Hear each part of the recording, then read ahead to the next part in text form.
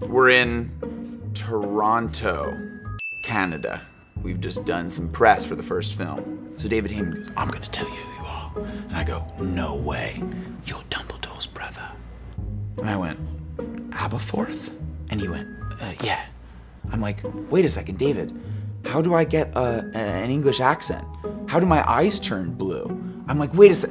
I'm like, this doesn't make any sense. He's like, that, that's all I know. That's all I can tell you for now. And I was like,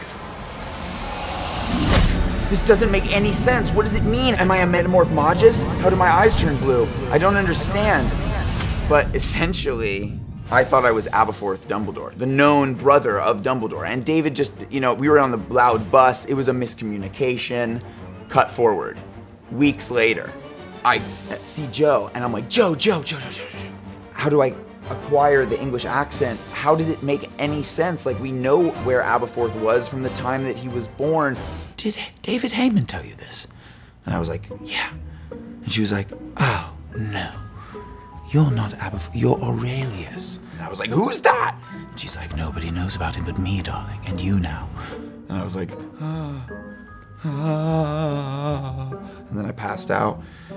Woke up four days later, and there was a tentacle growing out of both my eyeball and my ear.